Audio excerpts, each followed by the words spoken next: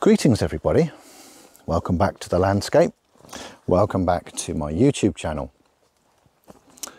So today the weather is, it's not disagreeable, but it's not exactly wild either. It's hammered it down with rain overnight and we've just got persistent low drizzle.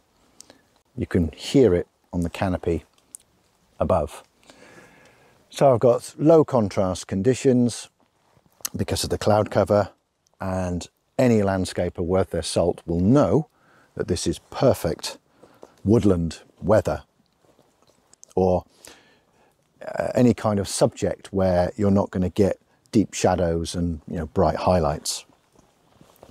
Because of the weather conditions and the fact that there's actually not a huge amount of wind, everything is very, very still. And all I, I mean, it's not going to come across on camera, but all I can hear is the very soft rain up above hitting the canopy. And then obviously you've got leaves uh, collecting uh, the precipitation and then that's dripping onto leaves below and so on and so on. And that notion of soft rain, of water collecting on the vegetation and then, uh, and then dripping has been rolling around in my head. I've probably been in this woodland now for, oh, I don't know, I'd say good two hours, at least a good two hours. Uh, and I've actually been photographing, uh, photo photographing. I've actually been photographing uh, autumn colour uh, because there are patches of this woodland where uh, autumn is quite prevalent. But I've found a particular twig with a collection of leaves on it. And this isn't the first subject that I've chosen that exhibits this quality, but it's the first one that I found that I would say really works from a composition point of view in, in, in terms of really clearly communicating what it is that I'm actually experiencing, which is, of course, why I choose to be out with a camera in the first place. So I'm going to try and arrange the video camera to look at the LCD and, and, I'll, and I'll talk you through the decisions that I've made. Right, so here is the back of my Sigma FPL. Uh, and there's my leaf. Uh, now, it's not at its best uh, at the moment, uh, because when I first looked at this leaf, I actually had lots of uh, droplets of water hanging off uh, each of the leaves. In fact, if I can call up the image, was that the one that I took to begin with? Doesn't really come across on that screen, but there you go, look, autumn colour. But when I first got here, there were lots and lots of droplets uh, on each of those leaves.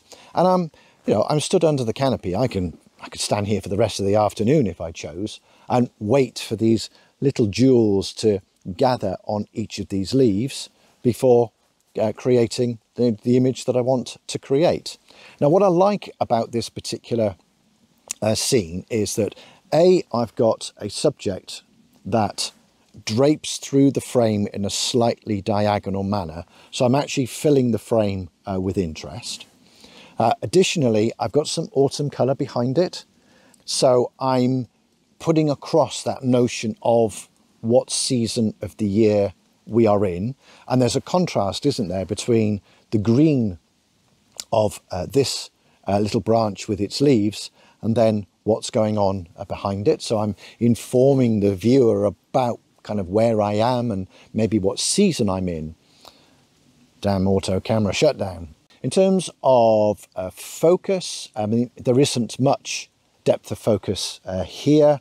So where did I focus? I think I focused on that big leaf, that one there, uh, which I'm just going to re-manually focus because I've moved the camera. There we go, something like that. There we go, nice and sharp. And then I've selected f6.3. I, just by looking at the branch, it looks as if it, what's the word, it moves away from me. So this portion here is slightly closer to the camera than this portion. So I need a little bit of depth, otherwise well, otherwise it's just not going to work. And I've enabled the depth of field preview, which enables me to just check that uh, A, I've made the right decision, but also I don't get too much of the background. And I think what I might actually do, I'm standing here talking about it, is I might take an image at f4 and then I'll take another one at 5663, something like that. And then when I get home, I'll con uh, compare and contrast because uh, I'll be able to see it on the big screen and be really critical and make sure that that you know, depth of focus decision is the right one. Uh, in terms of exposure, I could actually bring the exposure up a bit actually because the histogram's pretty good. There we go. That's from when I was last playing. So yeah, that'll do. And yeah, all I'm going to do now is I'm going to wait until, in fact, the, the rain has started again and it's uh, quite persistent now. I'm just going to wait for some uh, other droplets to appear on these leaves because it, it will happen that the leaves will collect moisture and eventually I will get droplets. I mean, it'd be lovely to have a droplet on this one here. I'm not in any rush. You know, like I say, I could stay here all afternoon uh, if I choose. I probably won't. But that's, that's the idea that I had rolling around in my head. And I've talked a lot about, on other videos, about how I try to find a subject that communicates how I feel about the place that I'm in or, or what is it that I'm experiencing. And this subject here just does it perfectly. It's capturing the fact that there's moisture in the air. It captures the fact that autumn is on its way. And it also captures the fact that there's quite a bit of green around at the moment. Those are three things that I am experiencing right now. Therefore, I have a subject that, you know, I found a subject that portrays those three things. It's a personal choice at the end of the day, guys, but I tell you what, it don't half work for me. Right, I am now going to wait and see whether I can get some interesting droplets appearing on our little branch.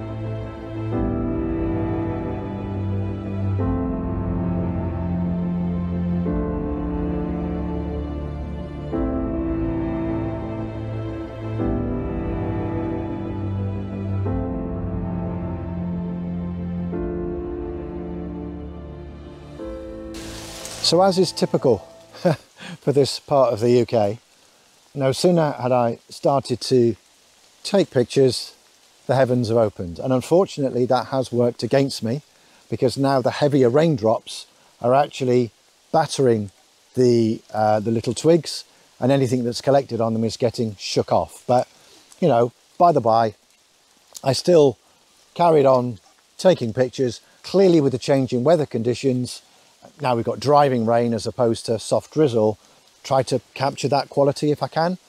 Whether it works or not, we'll find out. Another couple of um, uh, technical aspects just to touch on very quickly. I have uh, increased the ISO quite considerably. I think it was about 1250. That's because the branches were gently moving ever so slightly. So thumping up the ISO gave me a faster shutter speed, far more likely to therefore you know, get a sharp image. And also, I know lots of landscapers like to use a polarizer in conditions like this. However, a polarizer and a long lens hood isn't exactly a particularly convenient combination because you've got to kind of reach your finger inside the lens hood in order to adjust in order to adjust it. So I chose to do without it and just try and angle myself such that any glare coming off the leaves was at the absolute minimum. Right, so I'm going to have to cut this video here because it really is chucking it down.